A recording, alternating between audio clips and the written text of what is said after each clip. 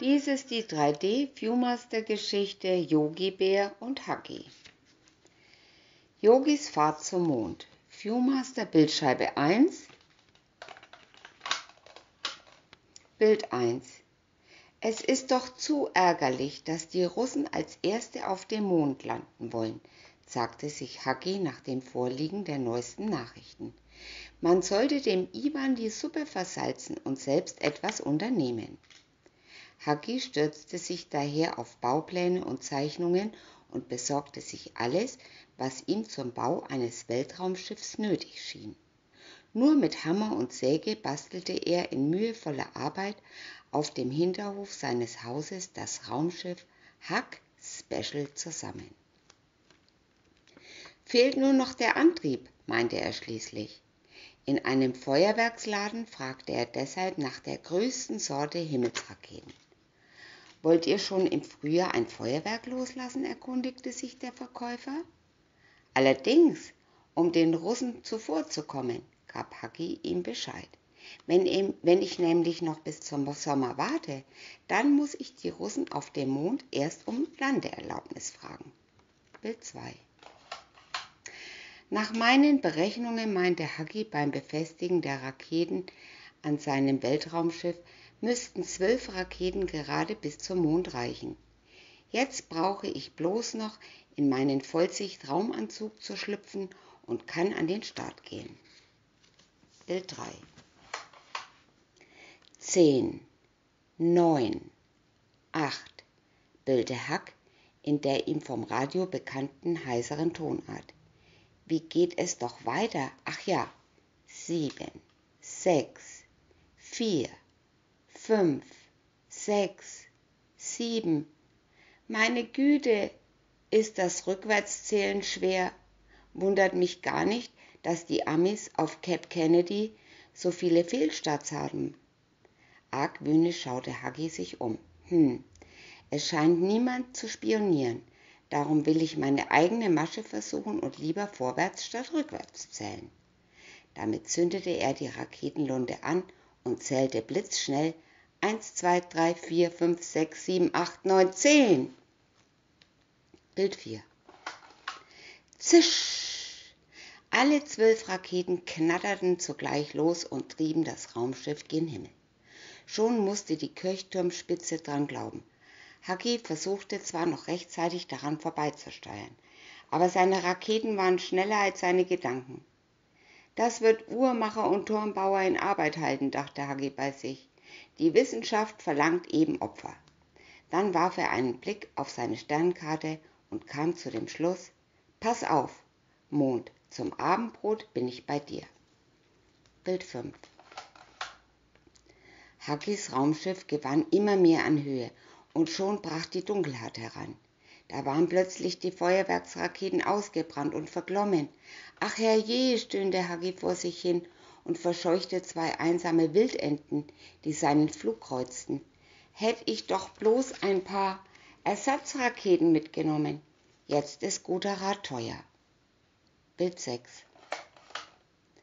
Ohne die Antriebskraft der Raketen fiel Hackis Raumschiff ins Bodenlose.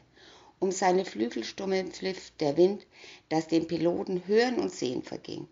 Aber plötzlich kam er durch einen gewaltigen Aufprall wieder zu sich.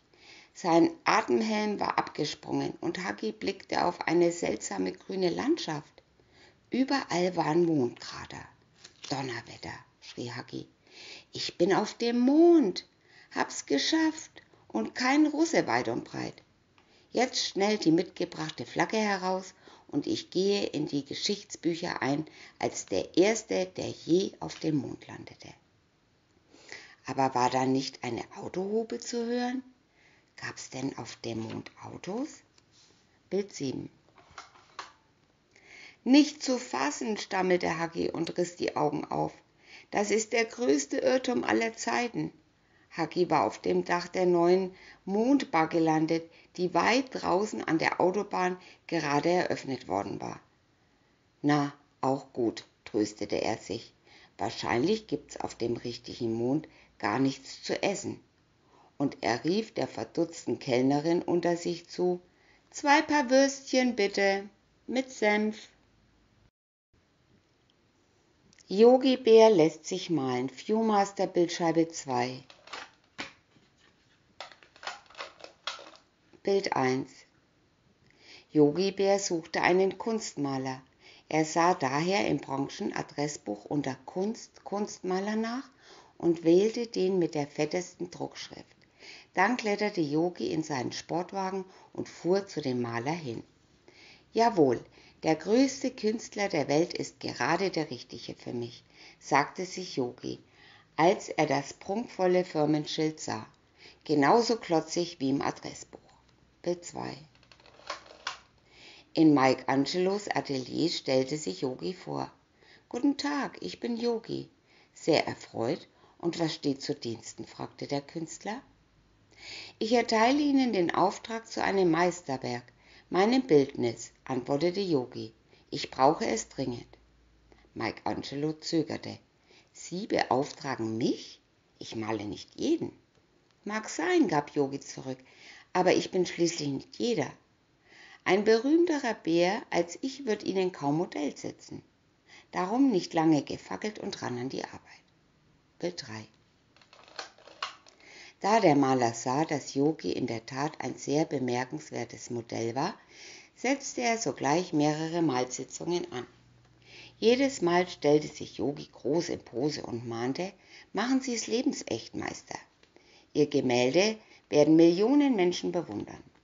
Bild 4. Nach langer Arbeit war es dann soweit. Das Bildnis war fertig, der letzte Pinselstrich getan. Der Maler schlug vor, ob wir es auf die große Kunstaufstellung geben und anschließend auf Europatournee senden? Hier ist schon ein Rahmen dafür. Einen Rahmen braucht es nicht, erwiderte Yogi und griff nach der Leinwand. Und von Ausstellen kann gar keine Rede sein. Ich bezahle es und nehme das Bild daher gleich mit. Halt, halt, schrie der Maler. Das Bild ist ja noch gar nicht trocken. Bild 5.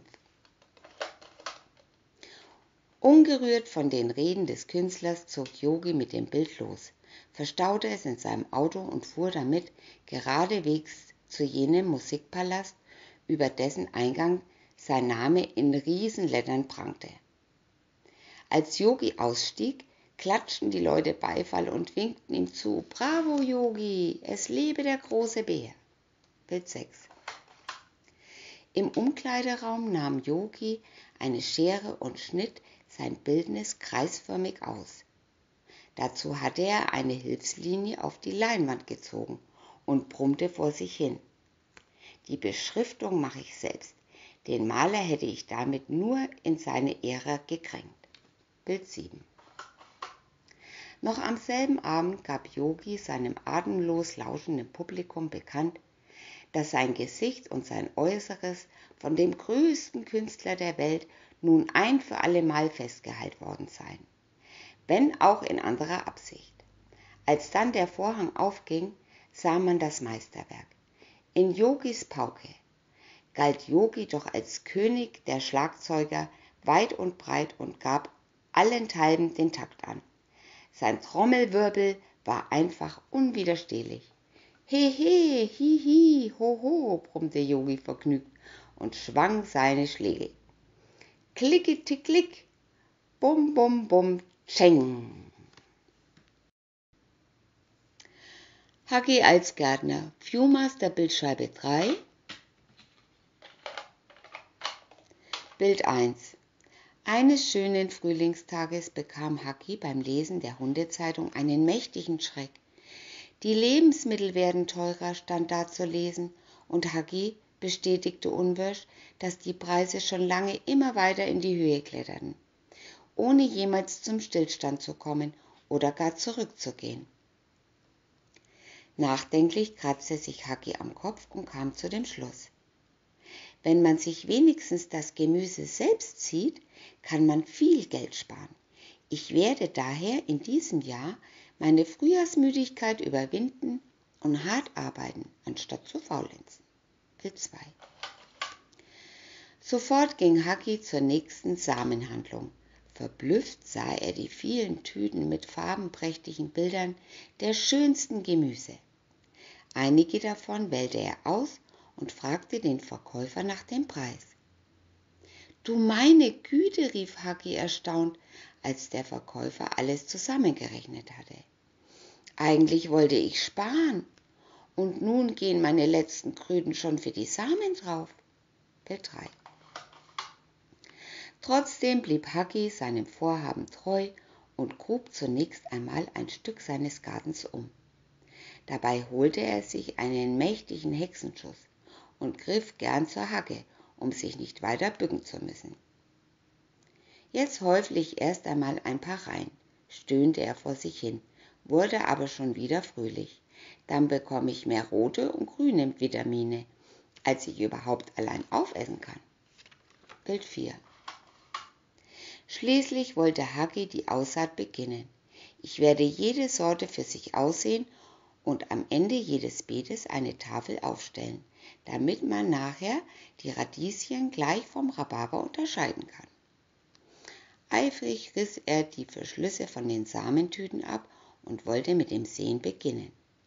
Dabei übersah er leider die Hacke, die er regelwidrig verkehrt rum hatte liegen lassen. Bild 5. Peng!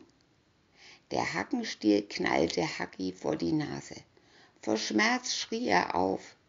Welcher Idiot ließ die Hacke so liegen, dass ich jetzt nichts als Sterne sehe und alles mit den Samenkörner verwechsle. Oh weh, ich selbst war der Dummkopf. Nun ist alle Ordnung dahin. Bild 6. Schmerzerfüllt und verärgert ging Haki zu Boden und hielt sich sein anschwellendes Riechorgan. Der blöde Hackenstiel hat nicht nur den Samen, sondern auch mich ganz durcheinander gebracht.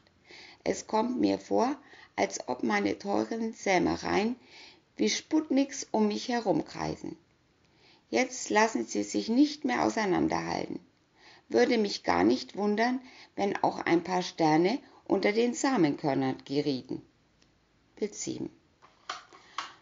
Noch immer halb betäubt war Hagi zunächst der ganzen Seherei und Selbstversorgung überdrüssig. Aber dann hatte er eine Idee. Ach was! Er versenkte alle Samenkörner gemeinsam unter einem kleinen Hügel und lachte verschmitzt. Im Zeitalter der Weltraumfahrt schätzt man gemischte Kost. Ich werde mich daher auf die Aufzucht von Mischgemüse spezialisieren.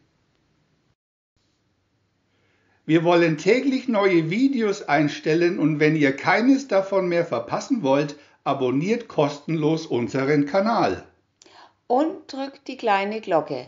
Außerdem freuen wir uns über einen Daumen nach oben. Wir wollen täglich neue Videos einstellen und wenn ihr keines davon mehr verpassen wollt, abonniert kostenlos unseren Kanal. Und drückt die kleine Glocke. Außerdem freuen wir uns über einen Daumen nach oben.